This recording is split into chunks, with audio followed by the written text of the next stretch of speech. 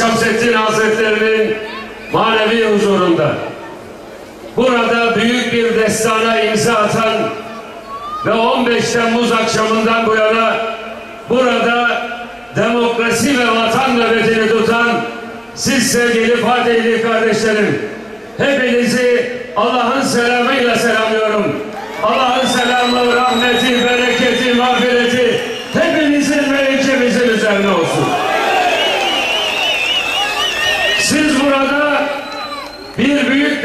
yazıyorsunuz. 15 Temmuz akşamında burada canlarını feda ederek vatan için, Allah için, millet için, bayrak için ölümü gözünü kırpmadan önüme giden şehitlerimizi rahmetle alıyorum. Allah hepsinden razı olsun. Türkiye bir büyük felaketin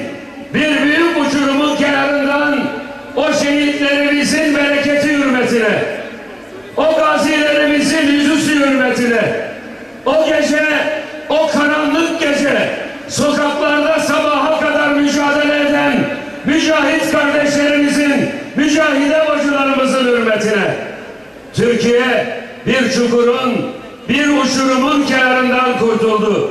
Allah hepsinden razı olsun. Allah hepinizden razı olsun. Değerli kardeşlerim, bu burada bulunan hepinizin, burada bulunmayan 79 milyonun hepsinin hayatında büyüklerinden hikayeler vardır. Kimisi Çanakkale gazisidir, öyle mi? Kimisi Kafkaslar'da gazidir. Kimisi Allahu Ekber dağlarında şehit olmuştur. Trablusgarp'tan Trablusşark'a 72 düvele karşı bu millet mücadele etmiştir. Hepimizin ailesinde, dedelerinde, büyük dedelerinde, babalarında şehitler vardır, gaziler vardır. Hep bize hikayeler anlatılırdı. Onların ne manaya geldiğini pek bilmezdik, anlamazdık. Çanakkale destanını hepimiz biliriz. 72 düvel bu milletin üstüne çullandı. Çanakkale'de bu milletin topu tüfeği değil, kazması küreği dahi yoktu. Dedeleriniz ayağa kalktı. Büyük babalarınız ayağa kalktı. Ya Allah diyerek ay yıldızı bayrağı havaya kaldırdı ve hepsini gerisin geriye koydu. O şehitlik, o gazilik destanlarını duyar ama bunların tam manasıyla ne olduğunu anlamazdık belki. İşte burada, şu meydanda, sizin şimdi etten bir duvar olarak gördüğünüz bu meydanda 15 Temmuz akşamı o 72 düvelin yani hani diyor ya Akif kimi Hindu, kimi yamyam, kimi bilmem ne bela onların iplerini tuttukları maşaların cellatları burada halkın üzerine ölüm kustular. Bir hoca kılıklı zavallı Eskiden yuh çekmeyi yuh çekmeyin diyorduk. Şimdi ne kadar yuh çekerseniz çekin. Bir zavallı o katliamdan sonra yalvarıyor. Diyor ki kadar kullandınız ha sakın ha milletin eline vermeyin. Türkiye'ye göndermeyin. Beni kullandınız size kul köle oldum. Size köpeklik yaptım. Ne olur beni koruyun diye yalvarıyor. Değerli kardeşlerim, bu millet bu destanı boşuna yazmadı. Bunları yapanlar, bu maşalar, bu maşaları kullananlar hepsi gelecekler ve hesap verecekler. Bundan hiç şüpheniz olmasın.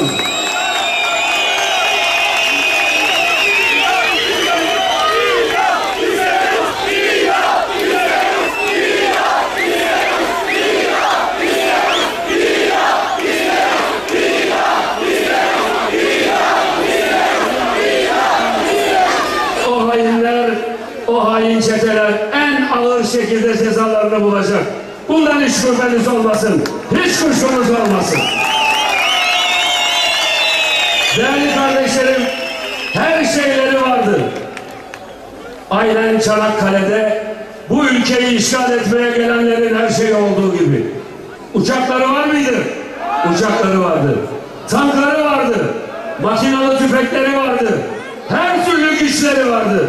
Medyaları vardı. Paraları vardı. Ve bu garip milletin elinde hiçbir şey yoktu. Aynen Çanakkale'deki gibi. Unuttukları bir şey vardı. Bu millet Allah'tan başkasının önünde eğilmeyen bir millettir. Bu millet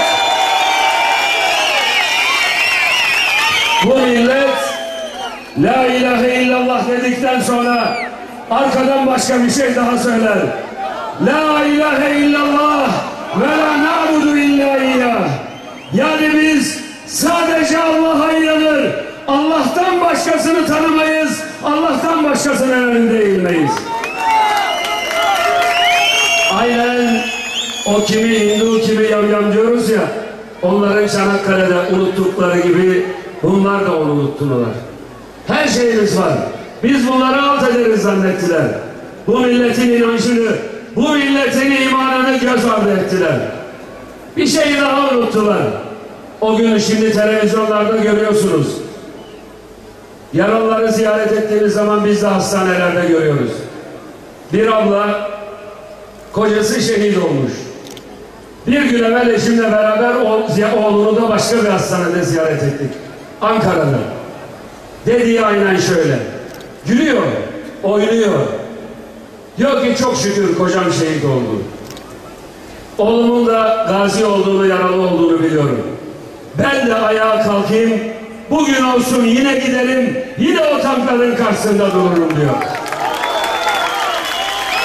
Bu beylerin, okyanus ortasındaki adamların, unuttukları şey budur. Bu millet Çanakkale'de uçakların önüne dikildiyse, topların, tankların önüne dikildiyse, Kıbrıs'ta dikildiyse, dünyanın her yerinde dikildiyse yine dikilmesini bilir. Çünkü bu insanlar biliyor ki hepiniz 79 milyon biliyoruz ki bizim için şehadet ölüm değildir. Biz sadece dünyada emanetimiz olan cesedimizi bırakır Allah'ın huzuruna güle oynaya gideriz. Çünkü biz biliyoruz ki ayet-i kerimede ifade edildiği gibi ve la tekunu limen yuktelu fi sebilillahi ammat bel ahya'un inde rabbihim yurzakun bir başka ayet-i kerimede de bel ahya'un velakin la teşurun diyor. Yani şehitlere sakın ha ölü demeyin. Onlar Allah katında diridirler, siz anlamazsınız. Şehitlere sakın ha ölü demeyin. Onlar Rableri katında rızıklandırılıyorlar. Cennet-i alada en üst şekilde Allah onları rızıklandırıyor. Bu meydanda 17 şehit verdik. Her bir kardeşime Allah hiç şüpheniz olmasın. Serdar-ı Şüheda olan yani şehitlerin öncüsü olan Hz. Hamza Efendimiz'e komşu olduklarından hiç şüpheniz yoktur. Allah onları en yüksek makamlarla mükafatlandırmıştır.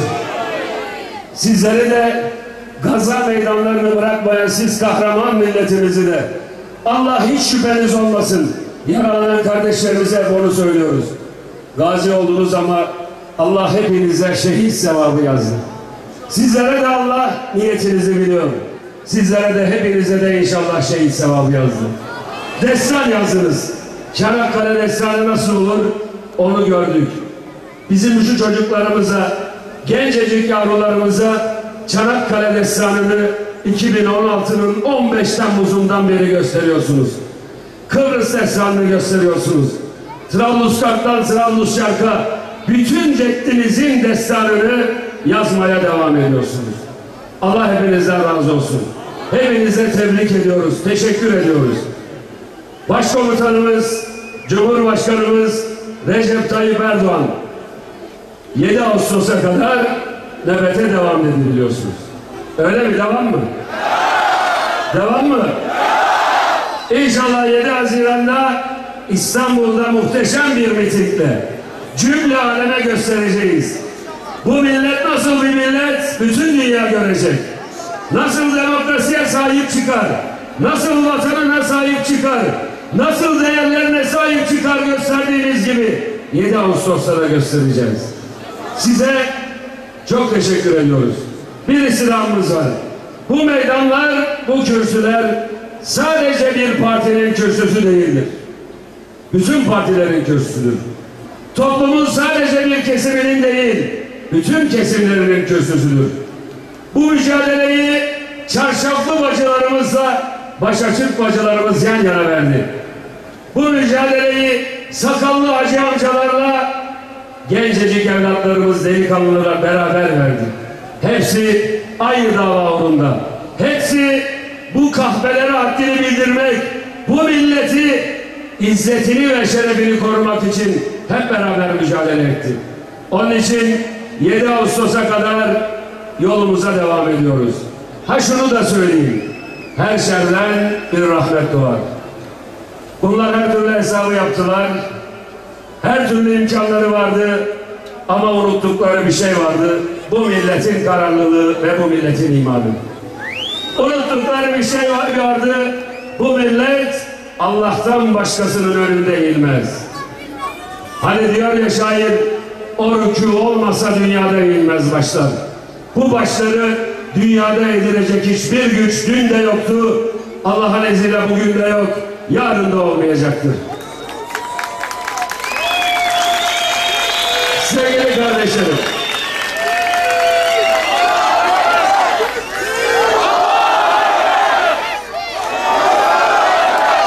Bu, bu, bu darbe teşebbüsü hakkında çok konuşuldu. Ama sadece şunu söyleyeyim. Bunlar ne istiyorlardı? Allah muhafaza Sayın Cumhurbaşkanımızı buldukları yerde öldürecekler ve Türkiye'yi ve Türkiye'yi bir kaosa, bir iç savaşa hatta Irak gibi bir dış işgale hazır hale getirecekler. Bu piyonlar, bu kahpeler, bu alçaklar, bunların arkasındaki şer odaklarıyla birlikte bunu planladılar. Ama tam tersi. Bunlar millette karışıklık, iç savaş istediler. Millet de dedi ki öyle mi istiyorsun? Hep beraber bir araya geldi. 79 milyon. Sağcısıyla solcusuyla, AK Partilisiyle, CHP'lisiyle, MHP'lisiyle, şu mezhepten, şu mezhepten, şu ırktan, bu ırktan 79 milyon bir araya geldi. Avucunuzu yaladınız mı? Bu milleti bölmek istediniz. Allah öyle takdir etti. Bu milleti bütünleştirdi. Allah'a çok şükür. Allah'a hamdolsun. Siz bu ülkeyi dış işgale hazır hale getirmek istediniz. Şimdi öyle bir bilinç verdiniz ki bu millete. Bu millet yeniden güçlü büyük bir Türkiye olmak için yoluna daha hızlı devam edecek. Siz Türkiye'nin kalkınmasının hızını artırdınız, motivasyonu oldunuz. Ne istedilerse tam tersi olacak. Ekonomisi zayıf bir Türkiye istediler. Şimdi daha güçlü bir ekonomi olacak. Gördük ki 10 bin, mil- 10 bin dolarlar seviyesinde darbe teşebbüsünü aklından geçiren bedbahtlar, hainler çıkabiliyor. Şimdi öyle bir Türkiye kuracağız ki hadi bakalım 20 bin, 25 bin dolar seviyesine bu millet çıksın. Siz de aklınızın ucundan bir darbe yapmayı geçirin. Öyle bir bize iyilik yaptılar ki Türkiye'de artık darbe üreten sistemi def edecek demokratik bir Türkiye'yi inşa edeceğiz. Hiç kimse aklının ucundan dahi darbe yapmayı geçiremeyecek.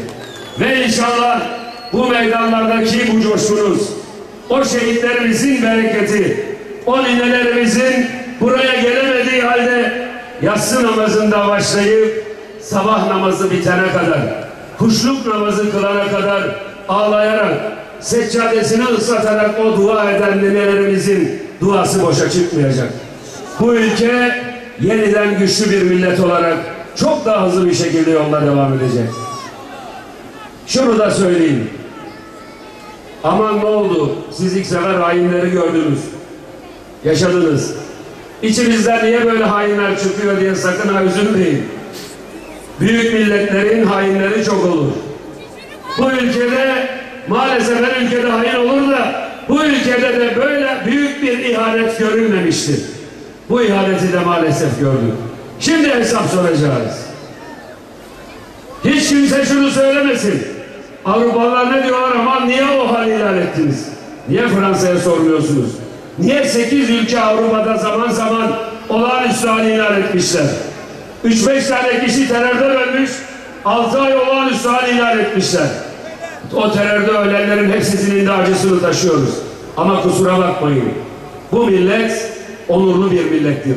Bağımsız bir millettir. Bu millet kimsenin tavsiyesiyle yoluna devam etmez. Kimseden emir almaz. Kimsenin bu millet üzerinde bir elbise biçmesine müsaade etmez.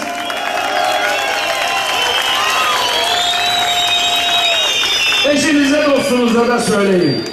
Olağanüstü hal ilan ettik ama bu olağanüstü hal millete değil, bu olağanüstü hal devletedir. Devleti kuşatmaya çalışan hainleredir. Bu hainlere karşı hiçbir merhametiniz olmayacak. Çünkü merhamet etmeyene merhamet olunmaz. Bunlara nerede olurlarsa olsun çıkaracak ve hesaplarını soracağız. Ancak eşiniz, dostunuz, akrabanız, komşunuz sorar soruşturursa şunu söyleyin. Vatandaşımız rahat olsun. Bu FETÖ'cü terör çetesiyle en ufak bir ilişkisi olanın burnundan fitil fitil getireceğiz. müşteri olsun. Bunlarla ilgisi olmayana da kılına dokunmayacağız, kılına dokundurtmayacağız. Şimdi o halde bir cümleyle kapatıyorum. İnşallah Taksim'deki kardeşlerimizi de ziyaret edeceğiz. Olağanüstü hal ilan edildiğinden bu yana günlük hayatınızda bir değişme var mı? Size herhangi bir şekilde kısıtlama yapan var mı? Esnafsanız işinize gücünüze gidiyorsunuz. Memursanız işinize gücünüze gidiyorsunuz. Herhangi bir şekilde dur nereye gidiyorsun diyen var mı? Olağanüstü halden millet memnun. Biz de elimizi çabuk tutarak bütün bu hainleri temizleyeceğiz ve normal halimize döneceğiz inşallah.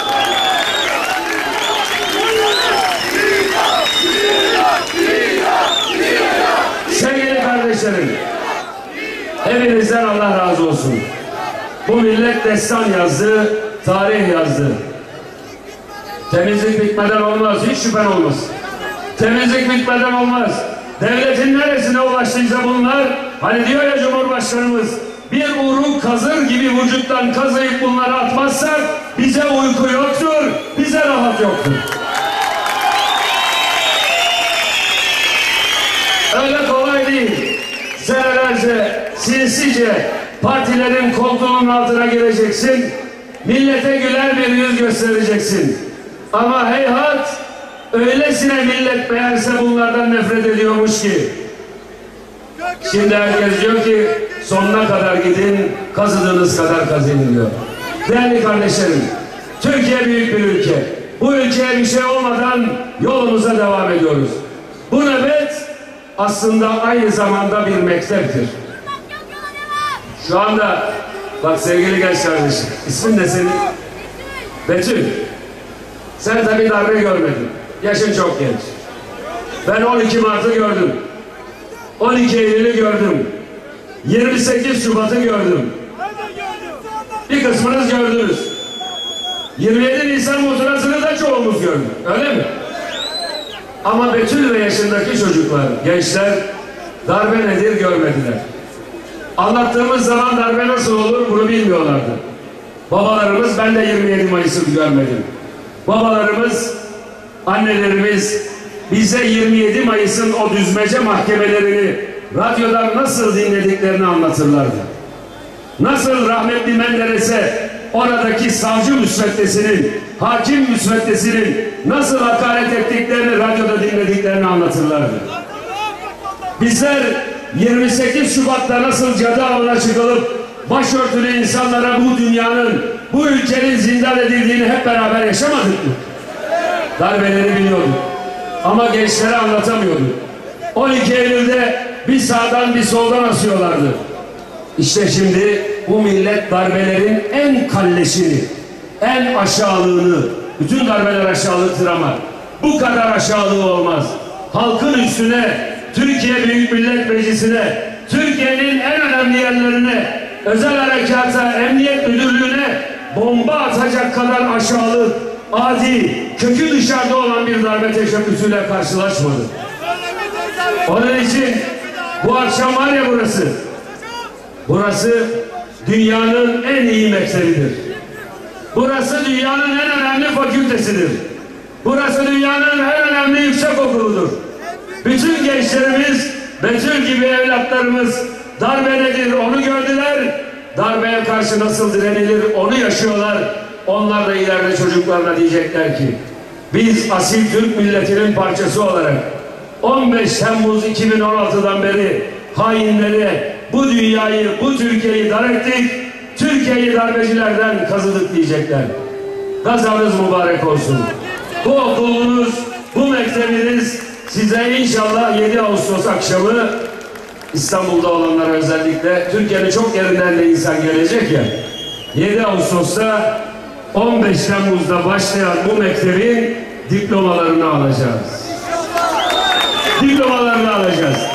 Dünyanın en şerefli üniversitesinden mezun olacaksınız. Dünyanın en şerefli fakültesinden mezun olacaksınız. Ve inşallah bu FETÖ'cüler ve onların arkasındaki sırtlan çeteleri bir kere daha görecekler ki bu millete öğrettikleri hakikaten çok kolay öğrenilecek bir şey değil. Çok acı, çok acı, çok ağır bir faturaydı ama sizi özgürlük mektebinden, sizi darbelere karşı duran yiğitler mektebinden inşallah 7 Ağustos'ta mezun edecekler, mezun olacaksınız. Allah ecrinizi artırsın. Allah sözünüzü kuvvetli kılsın. Allah dileğinizi kuvvetli kılsın. Allah gönlünüze ferahlık versin. Adımlarınız sağlam, yolunuz açık, dostlarınız sadık. Allah yardımcınız olsun. Hepinize sevgi ve saygılar sunuyorum. Allah'a emanet ediyorum.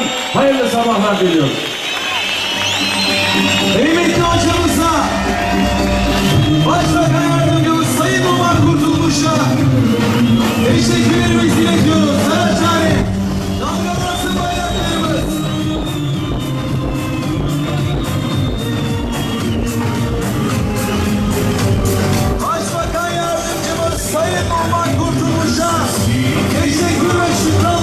Yalnız